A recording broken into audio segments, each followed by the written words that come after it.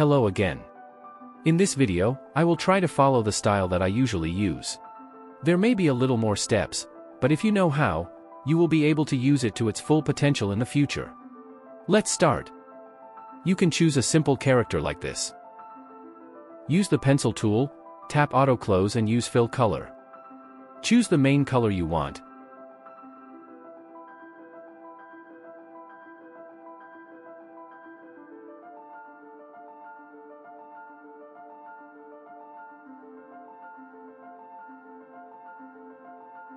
Use the gradient tool to drag from top to bottom. Choose the elliptical type. I set the key light from the top right corner.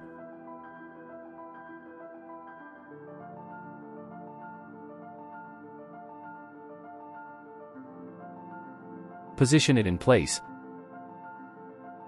Then go to the Styles panel, tap Create New Category, enter a name.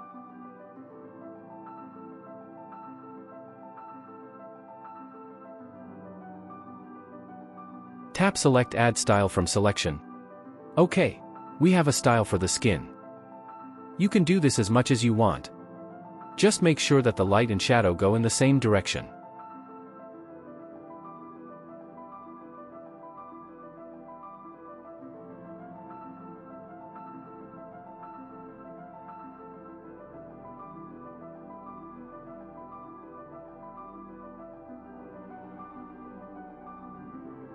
And if we keep it like this, what if we want the light to come from the left side? Do we have to do it again? Yes, we have to do it again. But I will use the flip horizon method first, and then flip it back to the original position that you want.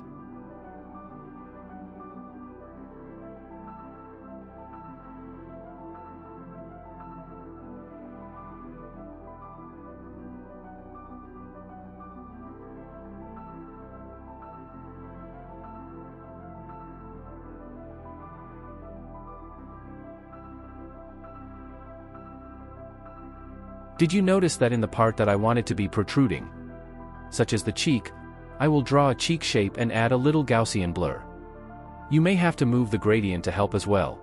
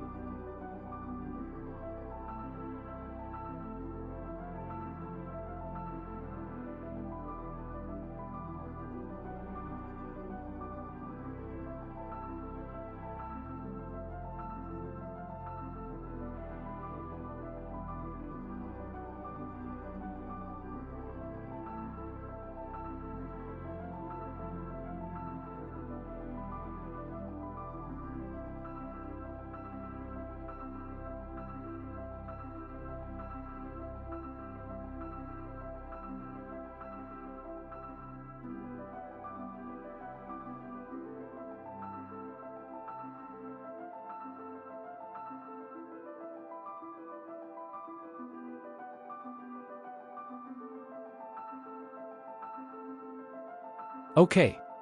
Actually, this is enough. Easy, suitable for children's story illustrations. What do you think?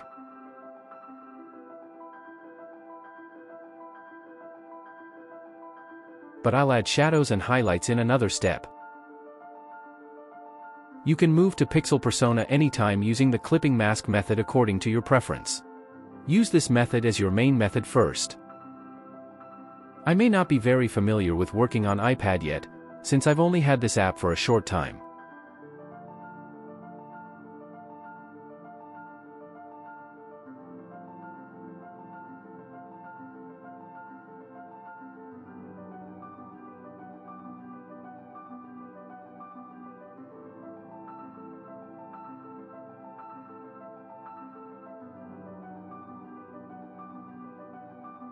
Okay. Let's add shadows, Draw shapes. Select blend mode as multiply layer. The multiply layer read the color value between black and white, but I will add a little red. Then add Gaussian blur.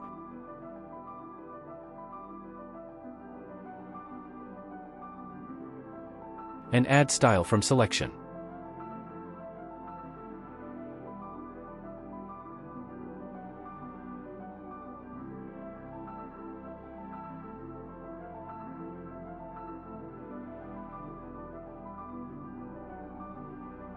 Since the Styles panel is with the FX layer panel, it may be a bit more difficult to tap between the two panels, which is not the same as the desktop version. It will be easier.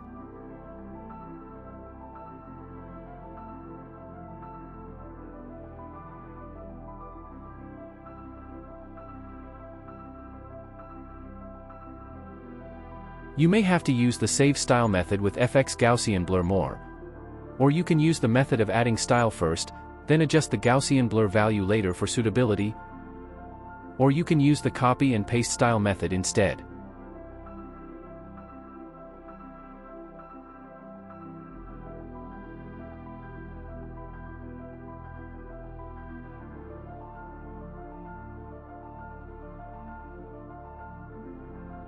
For the highlight, use the overlay layer method.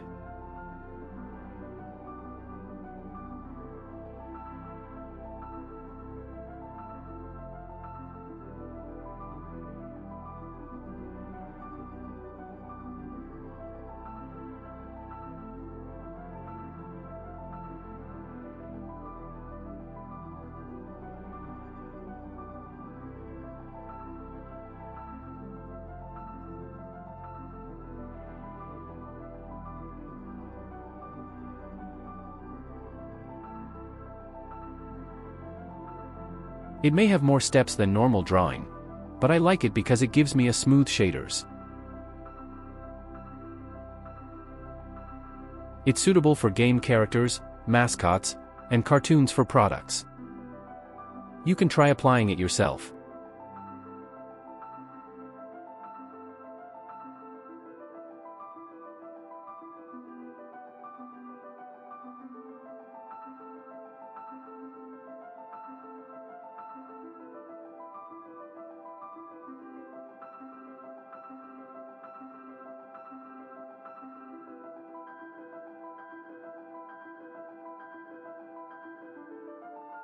Some might say it's easier to use the raster drawing method.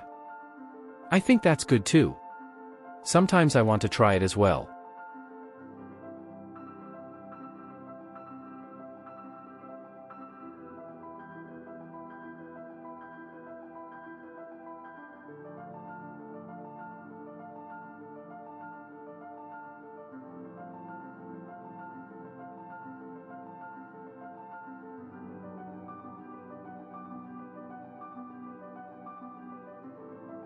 Okay.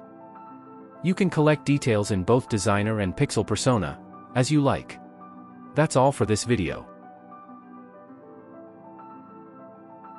If anyone has this app, try it. It may be slow and have a lot of steps, but I believe you will be able to apply it to your work well. I hope it is useful for you. Thank you for watching.